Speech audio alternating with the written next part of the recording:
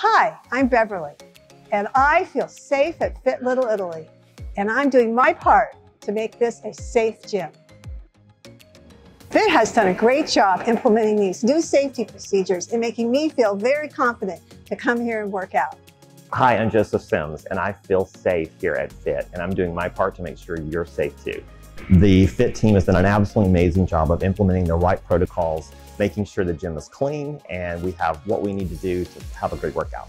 A healthy lifestyle means to me to eat correctly, to exercise every day, and also coming to fit on a regular basis. Working out for me is absolutely essential, and I feel like it's essential for everyone. The ability to take your body to the gym, do the right things, working out, and pushing your body to the limits is only going to make you better as a person and, and your body more healthy.